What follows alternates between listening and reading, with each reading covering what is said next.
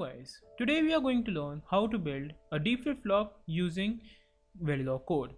As you can see, a D flip-flop has three inputs, D in, clock and reset and it has a single output which is out. Now reset could be given in two ways. It could be given in an asynchronous way that is not depending upon clock and in a synchronous way that is depending upon clock. What they are and how will the circuit perform according to them we will be seeing in a moment.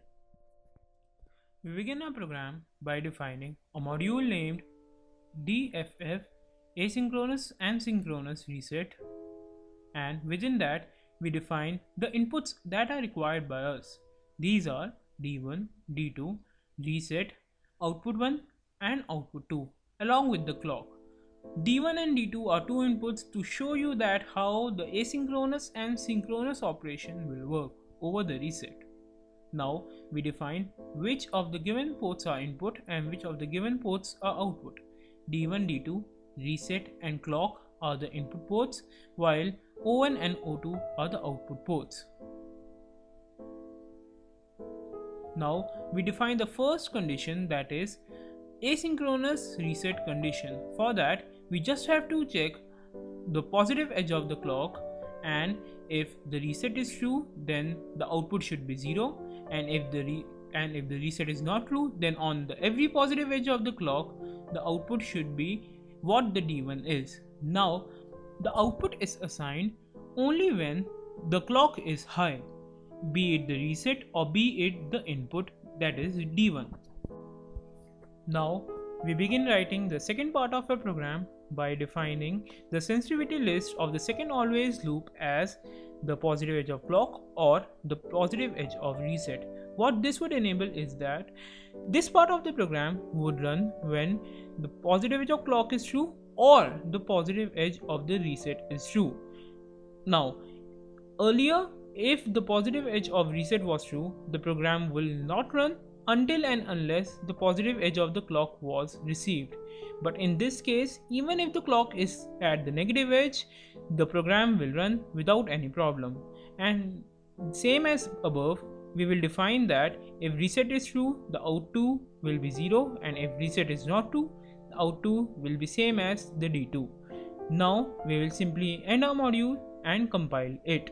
As the compilation was successful, now we will simply simulate our program. Now we will be defining a test bench for our above created program.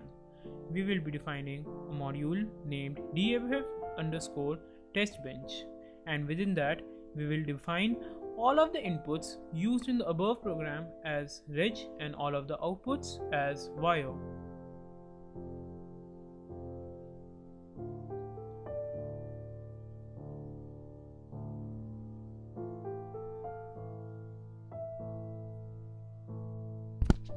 Now we will call the program for which the test bench is being made for. We will set the instantiation name as A1.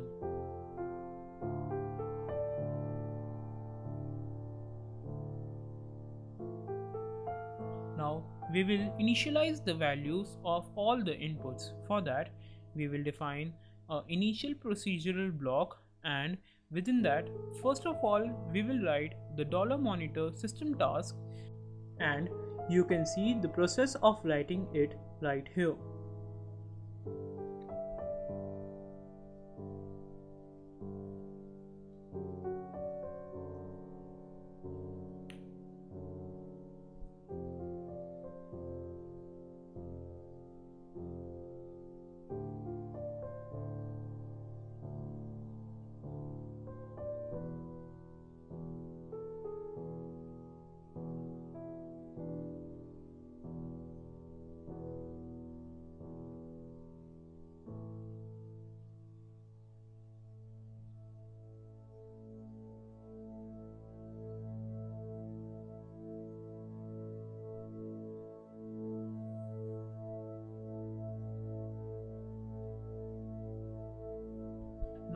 We will give the values to all of the inputs at different time frames.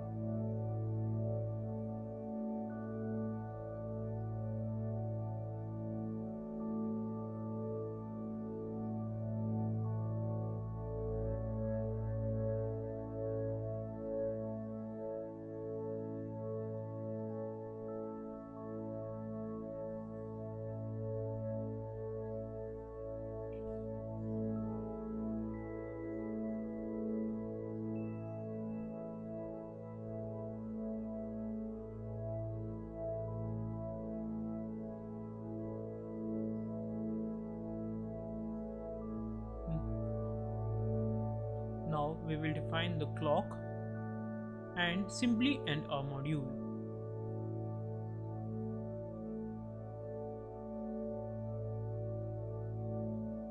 We will now save the program and simply compile it.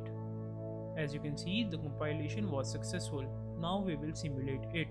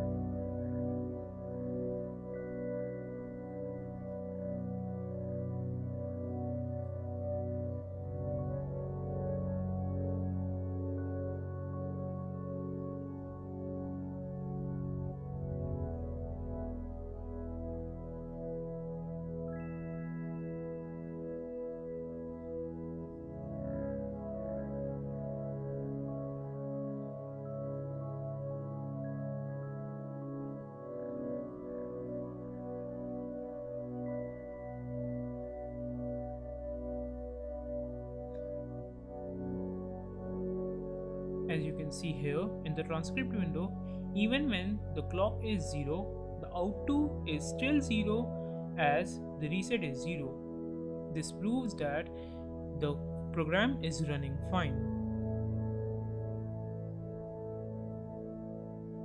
And here we can see that the out1 gets 0 when the clock is high again. This concludes our video. Thanks for watching